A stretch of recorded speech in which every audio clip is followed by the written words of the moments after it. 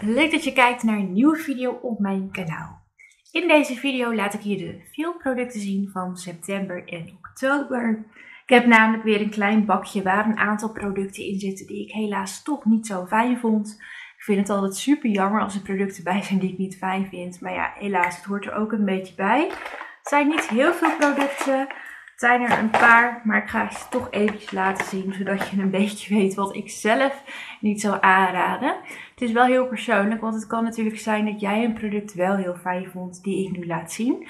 Maar goed, mocht je benieuwd zijn naar de producten die ik niet fijn vind, zou ik zeggen, kijk gezellig even mee met deze video. Ik begin met een whitening pen van, uh, ja, wat was het ook alweer voor merk? Staat er niet echt op. Het is een whitening pen van de Action. Het is een Absolute White whitening pen voor je tanden. Hij zit in zo'n verpakking. En dit zou dus zo'n uh, pen zijn die je tanden een aantal tinten lichter maakt. Nou, ik heb dit heel netjes gebruikt.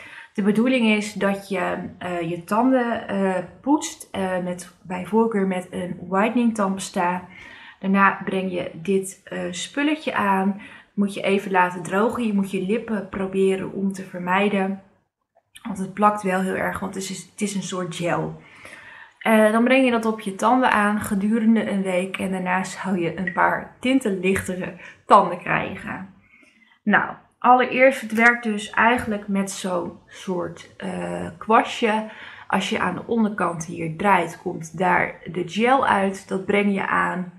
Nou, allereerst de smaak was heel vies. Het smaakt echt uh, heel naar. Um, ik heb daarna ook echt nog een um, mondwater gebruikt, want ik vond de smaak, daar kon ik niet van slapen. Dat vond ik echt heel vies. Het plakt heel erg. Alleen het deed helemaal niks voor mijn tanden. Mijn tanden werden er absoluut niet witter van. Um, ik merk toch dat dit soort producten toch niet echt werken. Want ik heb ook wel eens een keer zo'n charcoal powder getest. Dat werkte ook niet. En ook deze pen werkt totaal niet. Um, nee, ik zou hem niet, uh, niet aanraden, want ik, uh, ik, uh, ik zag hier helemaal niks van terug. Dan heb je een hele week je ermee bezig geweest en je ziet niks. Dat was een beetje jammer. Dan heb ik ook een Labello. Dit was een limited design edition. Dit is het doosje nog ervan. Ik heb hem in de seal gekocht, dus het doosje was al niet meer helemaal compleet. Het was wel heel leuk. Op de achterkant kon je dus ook nog schrijven als je hem cadeau wilde geven. Voor, staat ook echt op voor you, from me. En dan had je er een tekstje bij kunnen schrijven. Het is gewoon de originele labello. Die zit in een ja, gouden verpakking eigenlijk. De dop is goud. En dan hier staat thank you op. Dat vond ik wel heel leuk. Maar ondanks dat dit gewoon de originele labello is, vond ik hem niet verzorgend. Er staat echt bij dat het de originele Labello is. Hij heeft alleen een design editie, of limited editie cover zeg maar. Maar nee, het was gewoon helemaal niet fijn. Um, hij maakte mijn lippen niet zo zacht als dat een normale Labello doet. Dus ik snapte het eigenlijk niet. Want het zou de originele Labello zijn. En toch miste die heel erg zijn... Um, ja, de doel ging er totaal voorbij. Dus het was heel erg leuk bedacht. Maar nee, ik vond deze gewoon niet fijn genoeg dat hij mijn lippen voldoende zacht maakt. En dat vond ik wel jammer, want dat had ik eigenlijk wel een beetje verwacht bij de originele Labello. Dan heb ik twee nagellakjes uit de Insta Dry uh, Prismatic collectie van Sally Hansen. En dat zijn deze twee. Uh, ik begin even met de blauwe. Die heeft de naam 025 Comic Blue gekregen.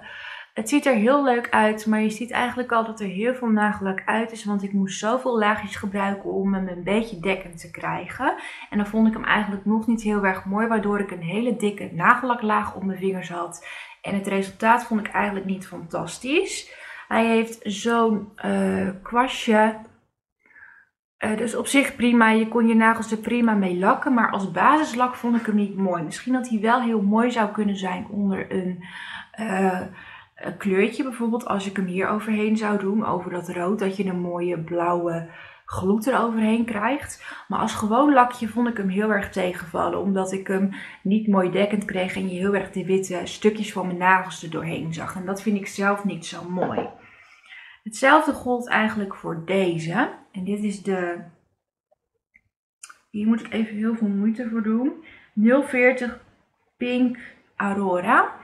En ehm, ja, ook deze, je ziet eigenlijk ook dat hier al heel veel uit is, omdat dit eigenlijk precies hetzelfde verhaal is als bij die blauwe. Want ik kreeg, kreeg hem gewoon niet mooi dekkend, zodat hij echt mooi erop zat. Dus ik denk dat deze lakjes echt meer geschikt zijn als topcoat of gewoon als basis, een laagje eroverheen dan echt als basislaag. Want daar vind ik ze gewoon echt te licht voor.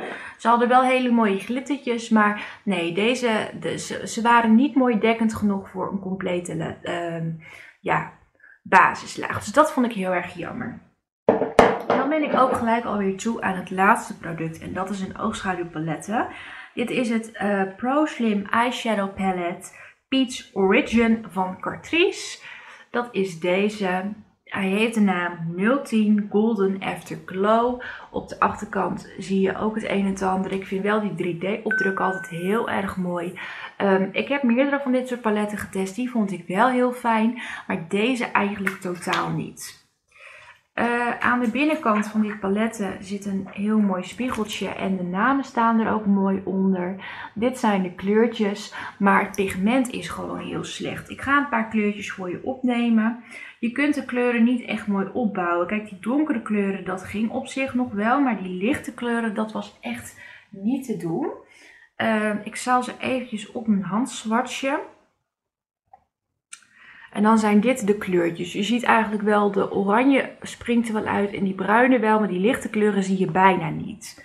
Nou, normaal zou je denken, als je dat een beetje opbouwt, dan komt het alsnog mooi tot zijn recht. Maar dat gebeurde dus niet. En dat vond ik echt heel erg jammer, want Um, zo kon je eigenlijk niet echt een mooie ooglook opbouwen, tenzij je alleen maar donkere kleuren gebruikt. Ja, en ik vind het toch ook wel mooi om wat lichte kleuren te gebruiken. Je ziet ook inderdaad echt wel wat lichte kleuren in dit paletten. Maar nee, het pigment van dit paletten vond ik echt heel slecht. En dat was ik eigenlijk niet zo gewend bij deze paletten, want ik ben gewend dat ze best wel goede pigmentatie hebben. Maar deze had dat helaas niet.